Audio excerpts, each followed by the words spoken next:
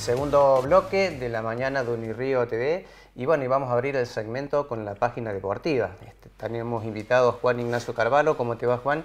Hola, ¿qué tal? Buen día. Es docente, Juan es docente. Este, está, no, estudiando el profesorado de. Estudiando, faltan las últimas materias. Sí. Cuarto año estando, ¿no es cierto? Cuarto año, me faltan un par de materias más, sí. Bueno, y, este, y eh, contanos un poquito lo que es la Universidad de Nápoles. Le, le contamos a la gente, este, Juan Ignacio Carvalho es estudiante del cuarto año del profesorado de Educación Física de nuestra universidad y en julio, del 3 al 14 más precisamente, se va a ir a participar a Nápoles en busca de qué, Juan.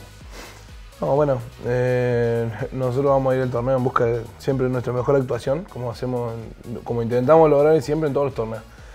Sería muy bueno entrar en la final, en un campeonato mundial, más allá de la categoría que es para menores de 25, pero bueno, hoy en el mundo los menores de 25 están entre los 10 mejores del mundo, así que va a haber eh, buena competencia, digamos, así que ingresar a la final sería un buen logro y siempre intentar mejorar nuestra marca o hacer una buena performance. Acá tenemos algunos datos, eh, campeón panamericano de los Juegos Universitarios 2018 en Brasil, campeón argentino en los Juegos desde el 2016 y el 2017 y venís recientemente, nos estabas contando recién, de participar en el Sudamericano de Mayores de Lima. Sí, así estuve ahí en Lima ahora hace una semana. Eh, compitiendo en el Sudamericano de Mayores, que bueno, logré hacer mi mejor marca. Como digo, siempre, ese es el objetivo nuestro, siempre eh, hacer nuestra mejor actuación en los torneos más importantes. Así que bueno, eh, vine a mejorar mi marca en Sudamericano y quedé número 4 de Sudamérica. así que bueno, estoy contento. Actualmente sos el número 4 de Sudamérica. Así es. Recalcamos que no es en los Juegos Universitarios estos que tuviste participando en Lima, no son exclusivamente para el deporte universitario, sino que es... No, no, eh, los que participé no son Juegos Universitarios, es el Sudamericano de Atletismo de, mayores, de la Confederación. ¿Tu especialidad siempre fue el lanzamiento de bala, Juan? No, hice el lanzamiento de bala y el lanzamiento de disco hasta el año pasado. Este año decidí especializarme en una para poder mejorar eh, y dedicarle todo el tiempo a una sola prueba. Es una disciplina olímpica el lanzamiento de bala. Contanos un poquitito los pormenores este, de los que se caracteriza este deporte, por ejemplo. ¿Cuánto pesa la, bala? ¿no? Siempre es el interés general que tiene la gente cuando ve por televisión eh, este, el, lanzamiento de esta disciplina. Sí, sí, bueno, la bala puede tener distintos diámetros, pero siempre pesa 7 kilos 260 gramos.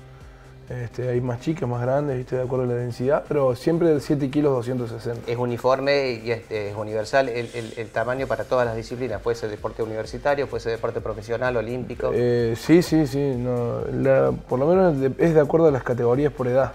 De sub-23 para arriba eh, ya se lanza con la de 7, que es la, olímpica, digamos, la, la mayor. Y después en categorías más chicas hay de 6 de 5. Las marcas promedios, por ejemplo, la marca tuya, este, ¿cuál, es? Y respecto, por ejemplo, de lo que es la primera marca mundial.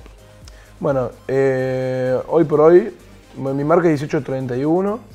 En el, en, el mundo estoy número 109 del mundo. El número uno del mundo tiene 22 y algo, que es una locura.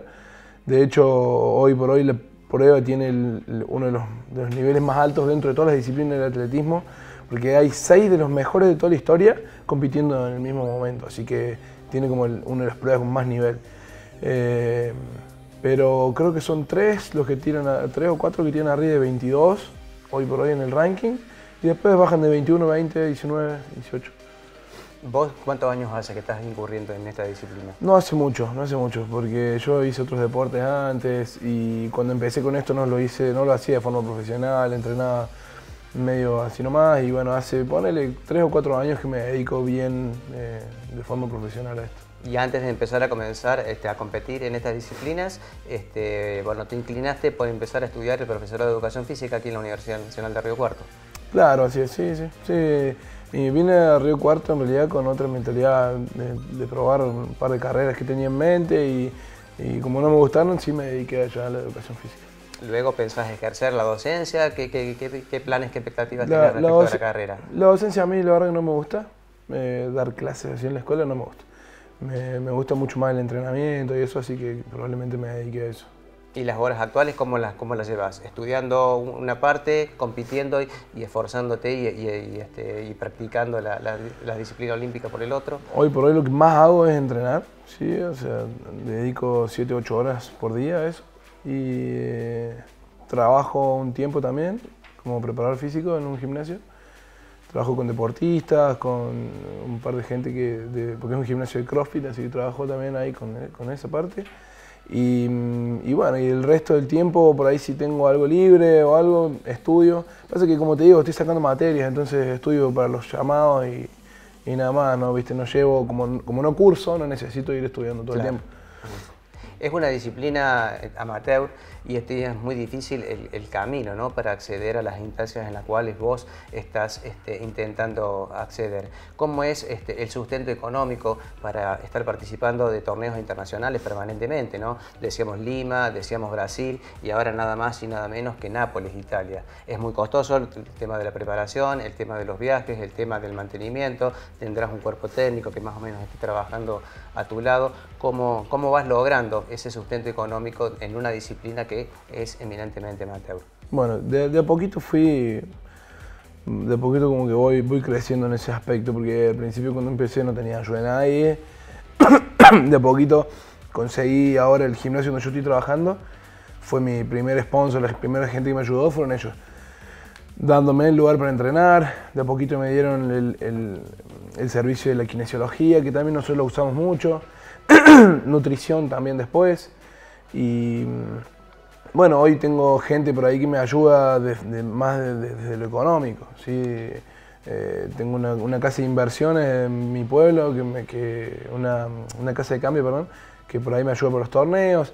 Pero siempre, siempre tenemos que andar renegando. Por ejemplo, ahora para este torneo tenemos que pagar todo. eh, mucha plata y bueno, no, no, hasta ahora no he recibido ayuda de nadie, solamente de, de la casa esta de Belgrano que, que me ha dicho que me iba a ayudar con una parte, pero todavía no sé ni cuánto, así que este, estamos en busca de eso, digamos, esperando a ver si la universidad nos da una respuesta o si la municipalidad o alguien para...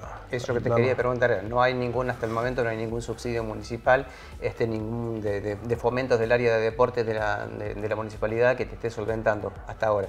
Eh, para este viaje no, no, no. Este año la, uni- la municipalidad me ayudó en, en otros viajes, este, pero no en este todavía no tengo respuesta.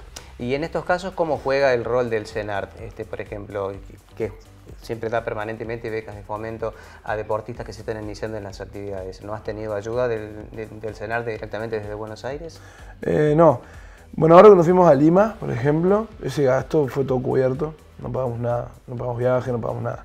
Ahí sí eh, in- interviene eh, la Confederación Argentina, el ENARD y bueno, y ahí se encargan.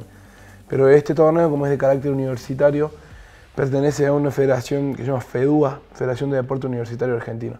No es ya de la Confederación Argentina de Atletismo ni de otro de entonces, eh, no interviene el ENAR ni nada. Esto está solventado por la FEDUA, que ha dado siete cupos cubiertos, y yo en el orden de mérito soy número 8, así que quedé afuera por un poquito.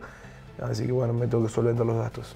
El otro día cuando nos visitaste este, aquí en los estudios del canal de la universidad, este, nos hablabas de tus sueños olímpicos, ¿no? Este, este, este, este juego particularmente que se va a desarrollar en Nápoles ahora, ¿es clasificatorio para una instancia olímpica? Bueno, nosotros, no- a ver, lo, lo importante para ir a un juego olímpico es tener la marca mínima. Si yo puedo hacer la marca mínima en un campeonato provincial, voy, lo mismo. Eh, ahora hay un sistema nuevo que es por puntos y bueno, algunas competencias suman puntos para estar más ubicado en el ranking, pero, pero son las dos formas de entrar, digamos, con la marca mínima, que la puedo hacer en cualquier torneo, o con el sistema de puntos, que creo que debería estar entre los mejores 30, una cosa así, no, no, no tengo bien claro eso, depende del torneo. Pero bueno, esas son las dos formas, digamos, de, de ingresar a los Juegos Olímpicos. Ajá, ¿Y cuál es la marca mínima que, que se debe requerir? Se- Hace mucho tiempo que la marca mínima es 20 algo, 20, 20, 20, 50, así que eh, no, es, no es una locura, digamos. Vos Pero, estabas en 18.30, pero nos habías dicho, sé que no tiempo. estás muy lejos. 18, 30, no, yo, yo, yo no la veo imposible, digamos. De hecho, estamos trabajando para eso, nada más que es un proceso muy largo. Son muy difíciles de acortar los tiempos de llegar a esas marcas con la preparación, con una preparación continua, permanente y bastante estricta. Mira, no, no puedo darte una respuesta exacta, ¿no? Pero, por ejemplo, este año nosotros llevamos más de un metro de mejora. Arrancamos el año con 17.32, ya tengo 18.31, así que bueno, un metro. Eh, el año pasado también, un metro y 10 centímetros. Y bueno, no siempre voy a poder mejorar un metro a lo mejor. Siempre tenemos muchas cosas para mejorar, desde lo técnico, desde la preparación física, que eso es bueno, porque cuando se nos acaben eso, estamos, ahí se nos acabó, digamos. Pero bueno, lo, bueno es eso, digamos, que tenemos mucho para mejorar, que sabemos qué mejorar, estamos trabajando en eso.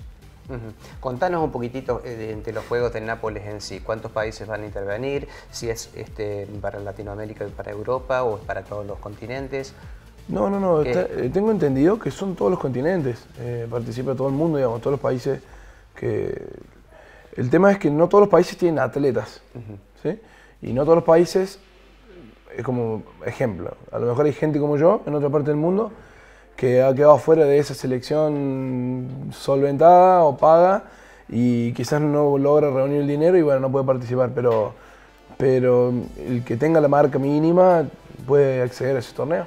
Eso es, digamos, cualquier país del mundo. ¿Tenés contactos con tus pares, con tus colegas, por ejemplo, de los muchachos deportistas de Argentina? Eh, sí, con, con, la gente de Argentina sí, porque viajamos siempre juntos, estamos en el mismo equipo nacional. Este, incluso también con gente de otros países también de, las competencias y de compartir por ahí torneos, uno va haciendo amistades y sí, conozco gente, chicos de México, ponerle que, que sé que van a participar, de Chile, así que sí, sí, tengo relaciones, se sabe ponerle finalizamos un poquito ya, Juan, con, la indagatoria previa a la participación tuya en los Juegos de Nápoles. Y queríamos ver un poquito cómo es tu preparación física. Este, ¿Llevas una dieta? ¿Llevas este, una, nutricionista? Más o menos, ¿cómo es la preparación habitual de un deportista de élite en esta disciplina olímpica que es el lanzamiento de bala? Bueno, em, mi preparación física, o sea, todo nuestro entrenamiento, yo lo he dividido en dos partes. Tenemos un turno a la mañana, que es la parte de pesas, que eso nos demora unas 3 horas o un poquito más, depende del periodo en el que estemos. Es todo pesas, ¿sí? Parte trabajamos la fuerza, la fuerza explosiva, la, en esa parte, en ese, en ese momento también hacemos ejercicios de movilidad, coordinación. Se trabaja todo lo que se, lo que, dependiendo del periodo en el que estemos. Y la otra parte es a la tarde, que la hago yo a la tarde, eh, por cuestiones de, horarios de entrenamiento, porque mi entrenador eh, trabaja esa hora, entonces justo me queda ese horario. Luego de 7 a 10 de la noche, son 3 horas más, a veces, a veces incluso más, también depende del periodo, es donde trabajamos la parte técnica. hacemos lanzamientos o, o, hacemos ejercicios técnicos específicos para mejorar alguna parte. Este, bueno, después yo también Cuento con, un nutricionista, eh, Andrés Biasi, eh, de hecho aprovecho para agradecerle. Este, con él empezamos a trabajar. Nuestro objetivo desde que empecé a trabajar con él ha sido subir de peso y ya hemos subido como 9 o 10 kilos, así que bien, llegamos, vamos bien en eso. Parece que también es un proceso muy... cuesta, cuesta muchísimo. Además de que, bueno, es, caro también. Este, yo, por ejemplo, un ejemplo, ¿no? Yo necesito comer un kilo de carne por día. Eh, un kilo de carne por día. dos litros de, yogur o leche por día, bueno, etcétera. 11 frutas, ¿entendés? Como que es muy caro. Este, pero bueno, venimos bien haciéndolo bien.